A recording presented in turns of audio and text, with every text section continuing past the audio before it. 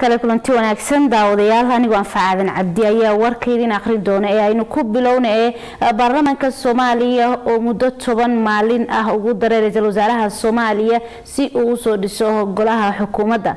Maxamed xuseen daacad ayaa warkan faahfaahinaya halkan oo xarunta villa hargeysa ay ku shiraan xildhibaanada golaha shacabka soomaaliya. Waxaa maanta fadhi ku yeesha xildhibaanada golaha shacabka soomaaliya waxaana fadhiga maanta shir gudoominayay gudoomiye ku-xigeenka koowaad ee golaha shacabka soomaaliya xildhibaan sacdi yaasiin samatar waxaana kulanka maanta uu ahaa in cod loo qaado ra'iisul wasaaraha xukuumadda federaalk soomaaliya maadaama uu soo weydiistay guddoonka golaha shacabka soomaaliya in muddo toban maalin la siiyo uu ku soo dhiso xubnaha golaha wasiirada ee xukuumadda federaalk soomaaliya gudoomiyaha ay soo jeedisay waxaana codsiga oo guddoonka u jeediyey koor akhriyay baarlamaanka jamhuuriyadda federaalk soomaaliya xogayaha guud ee golaha shacabka soomaaliya. Warqadan waxay soo baxday afar iyo labaatankii bishii toddobaad waxaa weeye waxay ku socotaa mudane sheekh aadan maxamed nuur guddoomiyaha golaha shacabka ee baarlamaanka federaalk soomaaliya. Waxaa kale oo ay ogeysiin ugu socotaa xasan sheekh maxamuud madaxweynaha jamhuuriyadda federaalk ujeeddo codsi muddo kordhin horkeenida golaha shacabka xukuumadda cusub iyo barnaamijkeeda. Iyo barnaamijkeeda. Mudane guddoomiye tixraaq qodobka konton iyo koowaad farqadiisa saddexaad ee xoosaadka golaha iyo qaraarka golaha shacabka tirsigiisu yahay g h g s h baarlamaanka koob iyo tobnaad zero two twenty two kuna taariikhaysan shan iyo labaatankii bishii lixaad laba kun labaiyo labaatanka. Qodobkiisa labaad ee ku saabsan in aan muddo soddon maalmood ka badnayn ku soo magacaabo xubnaha golaha wasiirada xukuumadda federaalk soomaaliya kadibna horgeeyo golaha shacabka baarlamaanka federaalk soomaaliya xukuumadda iyo barnaamijkeeda si golahu u siiyo codka kalsoonida mudane guddoomiye sida aada la socoto dalku wuxuu ka soo baxay doorasho ku soo gabagabowday muddo ka badan siddeed iyo toban bilood taasoo ay hareereysay is-aamin darro badan oo ka dhalatay kala aragti duwanaanta siyaasadeed ee xoogaga siyaasadda dalka. Haddaba si aan u soo dhiso xukuumad tayo leh isuna dheeli tiran waxaa lagama maarmaan noqotay inaan waqti ku filan geliyo la tashiyada aan la sameynayo qaybaha kala duwan ee siyaasiyiinta dalka iyo bulshada rayadka ah si aan isu qancinno intii suuragal ah.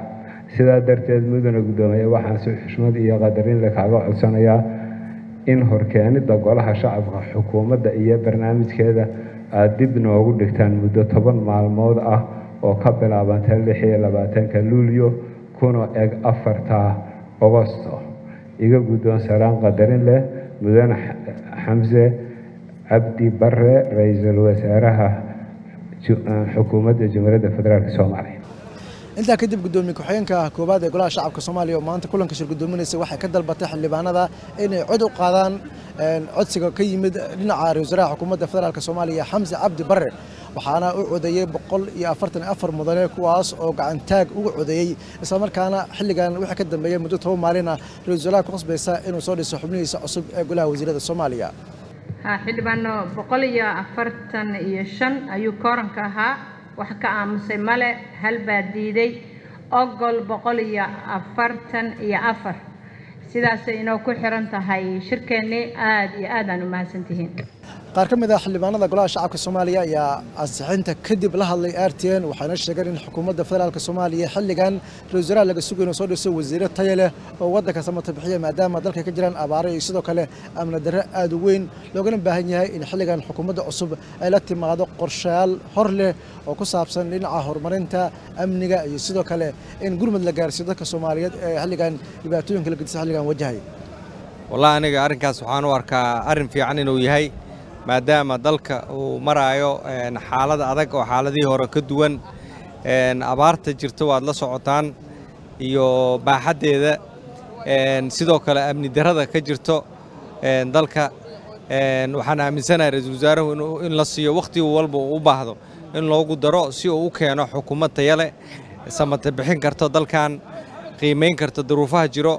Soo dhaweynaynaa waana loo ansixiyey ra'isul wasaaraha muddadiisa tobanka maalmood waxaan isleenahay dalka dee wuxuu ku jiray muddo siddeed iyo toban bilood ah doorasho waxaan rajeynayna markaa mar dhow in xukuumadda iyo barnaamijkeeda ay howlgalaan dalkuna ay dhammaystirmaan waxa ka dhiman oo duuladhiska taasaan aad ugu rajeynaynaa waana waxaan leenahay rajo allah u fududeeyo walaa culus horyaal.